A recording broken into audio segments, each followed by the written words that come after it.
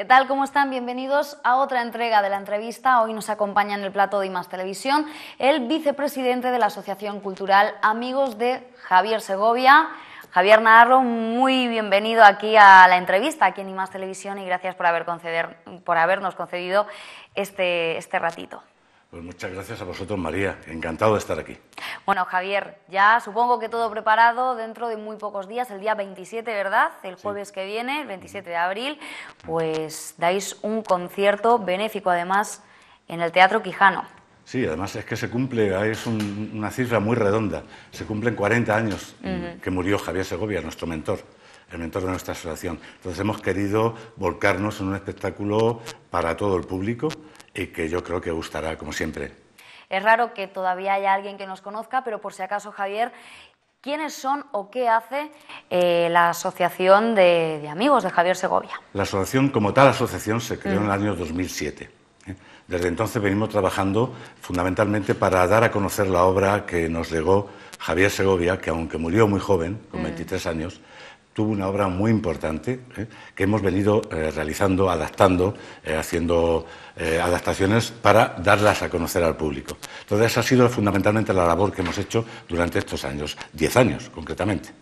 Lo cumplimos también en el, año 17, en el 2017. El título, el nombre que le habéis dado, Javier, al concierto, lo tengo por aquí, La noche y el tiempo. Además, hasta en eso le hacéis un guiño a Javier Segovia. Sí, Javier murió de noche, ya casi en, el alba, ¿eh? ya el, día estaba ya prácticamente amaneciendo, y el tiempo, pues el tiempo que ha pasado, que no ha pasado tiempo, porque esto se pasa muy rápido. Y además los seguís, ¿no? Sigue vivo en, vuestras memorias, también en la de todos los ciudadaneños, en vuestros conciertos, porque creo que también eh, esto hace, pues hace mención a un verso ¿no? de, la Pandorga, porque recordamos que él fue el creador del himno de la Pandorga. En la Pandorga, una de sus estrofas finales, La noche y el tiempo, mm. viene a simbolizar pues el, el, espíritu del concierto, la noche y el tiempo. ¿eh? Que es uno de los últimos versos del himno. Digo himno porque ya se constituyó como himno y el ayuntamiento lo aprobó en su momento como himno de, la Pandorga.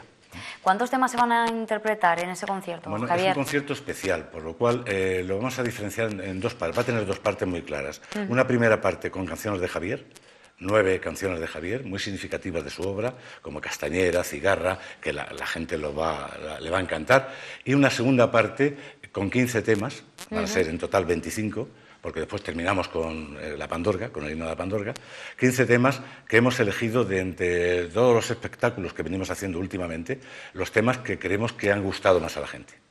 Es complicado elegir entonces, ¿eh? Pues sí, pero vamos, hemos elegido temas, aquí tengo como... Sí, si me puedes decir alguno. Un beso y una flor, mm, eh, ¿Quién te cantará o qué será? Olvidé respirar, eh, María se bebe las calles, Lucía, Triniá, mm. El arriero, Acántaros, Cantares, canciones que han gustado de los últimos espectáculos que la asociación ha, ofrecido.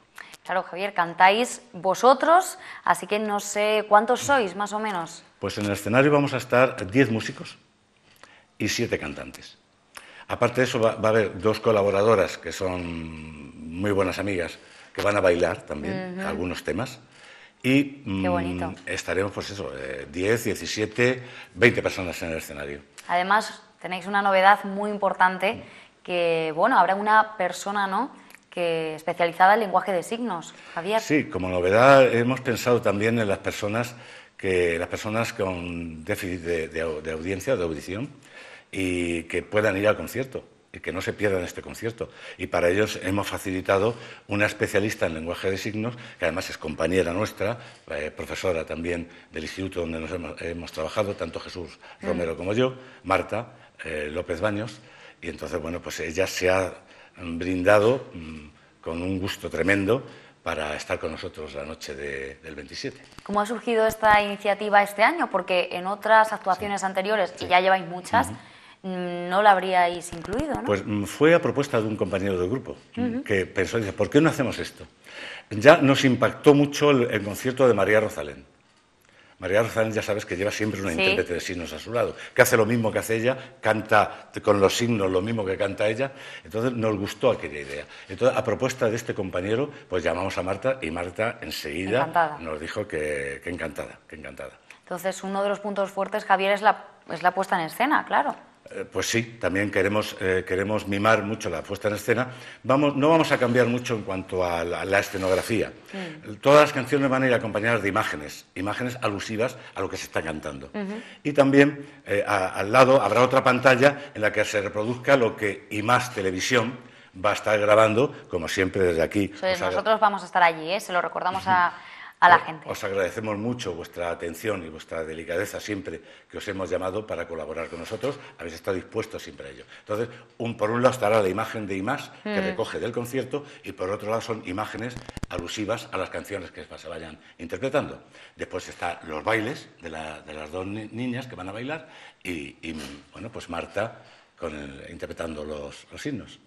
Luego, además, Javier, bueno, las entradas son 5 euros, me parece. Sí, es entrada única, que lo sepa la gente, que es entrada única. Cuando se llene el patio de butacas, pues la gente subirá mm. al anfiteatro, que también, he de decir, se oye de magnífico, ¿eh? porque el Quijano tiene una, audición estupenda. Son a 5 euros, se venden en taquilla a partir de, hoy, creo que se está vendiendo ya de taquilla. Pues ya lo sabe la gente. También en la propia Asociación Provincial contra el Cáncer, porque ya sabes... Los fondos... Que los fondos de este concierto irán para la Asociación Provincial contra el Cáncer y en Music Real y mm, algunos miembros de la asociación también tenemos entradas para vender. ¿Algún proyecto próximo, además de este, Javier, que tengáis en mente para ir ya abriendo boca? Mm, tenemos un proyecto mm, muy ilusionante, que es eh, tanto el himno, bueno, el himno de la Pandorga como una de las canciones de Javier Segovia que se llama Madre Mancha. Queremos hacer unos arreglos especiales de las dos canciones para realzarlas sobre todo eh, la canción Madre Mancha, porque pensamos que es un auténtico, puede ser un auténtico himno de nuestra tierra, himno de, La Mancha. ¿Y en qué consistirían? Pues hacer unos arreglos para, para, darle forma de himno concretamente, que lo puedan cantar muchas voces, en fin, una interpretación. Para eso, bueno, pues se necesita un apoyo económico, ya mm, pediremos la subvención correspondiente, a ver si las instituciones nos apoyan para ver si podemos hacer esos arreglos. Mientras tanto, pues seguiremos organizando conciertos el próximo será siempre en el Prado, como, es tradicional, en el cual este año haremos una recapitulación también de, con la base de este concierto del día 27 de abril.